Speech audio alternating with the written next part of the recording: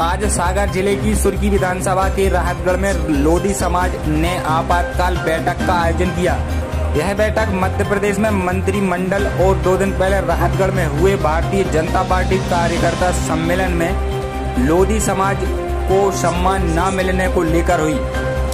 बैठक में निर्णय लिया गया कि अगर मंत्रिमंडल में लोधी समाज को न लिया गया और अगर निगम में लोधी समाज को ना लिया गया तो उपचुनाव में लोधी समाज कांग्रेस के साथ हो लेगा भारतीय जनता पार्टी ने लोधी समाज की अपेक्षा की है।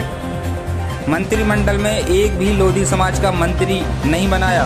अगर भारतीय जनता पार्टी पाँच विधायकों में से दो विधायक को मंत्री नहीं बनाती तो लोधी समाज भाजपा के खिलाफ मतदान करेगी। लोधी समाज का 90 परसेंट वोट भाजपा को जाता है, लेकिन वर्तमान में भारतीय जनता पार्टी लोधी समाज की अनदेखी कर रही है। अगर हमारे फैसले को नकारा गया तो उपचुनाव से कुछ दिन पहले लोधी समाज की विधानसभा लेवल पर बैठक करेंगे और हम खुलकर भारतीय जनता पार्टी का विरोध करेंगे।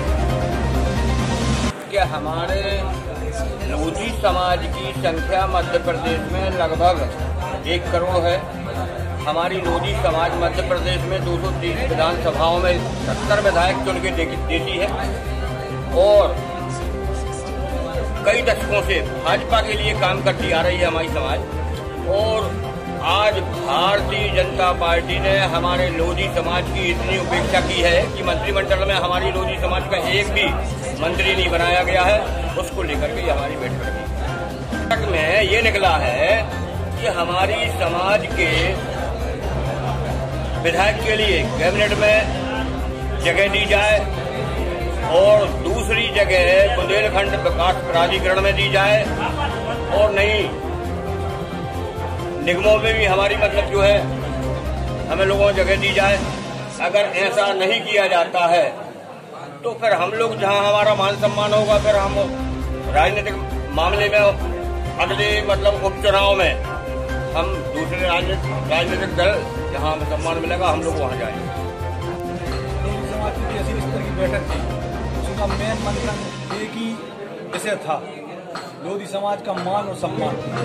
क्योंकि मंत्रिमंडल मंडल विस्तार हुआ है, उसमें लोधी समाज की बहुत इच्छा हुई है। उस संबंध में एक आपात बैठक बुलाई गई है और जिस बैठक में निर्णय हुआ है कि अगर भारतीय जनता पार्टी किसी लोधी समाज की व्यक्ति को अगर मंत्रिमंडल अगर मंत्रिमंडल में नहीं लेते तो निगम का अध्यक्ष अगर उस चुनाव को पहले नहीं बनाएगी, हम लोग इस चुनाव में आगे की रणनीति तैयार करेंगे।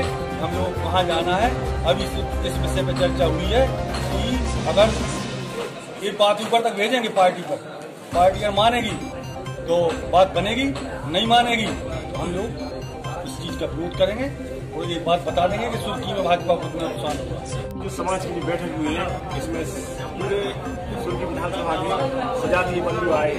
और सभी ने यह निर्णय लिया है कि यदि भारतीय जनता पार्टी हमारे लोगों को मंत्रिमंडल में शामिल नहीं करती या निगम में कोई पद नहीं देती तो बड़े स्तर पर कुछ एक दो महीने बाद बैठक, चुनाव को पहले बैठक करके समाज की सभी लोग निर्णय लेंगे कि किस पार्टी को सबको वोट देना है।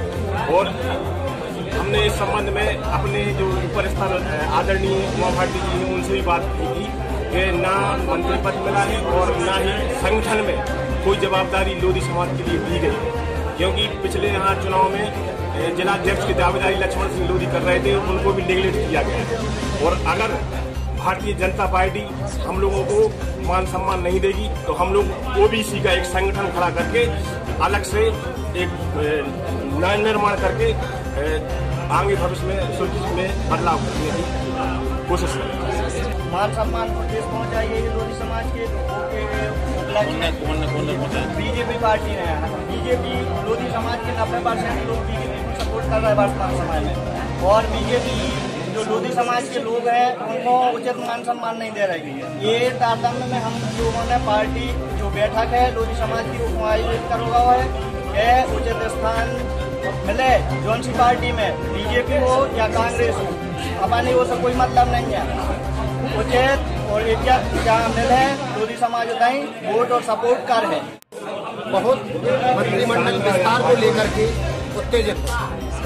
पूरे विधानसभा में पूरे मध्य प्रदेश में। और पूरे भारत देश में इस चीज़ का मैसेज जा रहा है यदि भारतीय जनता पार्टी लोधी समाज के पाँच विधायकों में से दो मंत्री का यदि मंत्री पद में स्थान नहीं देते तो लोधी समाज जितनी भी 24 सीटों पर चुनाव होना है, सभी पर भाजपा के खिलाफ मतदान करेगी।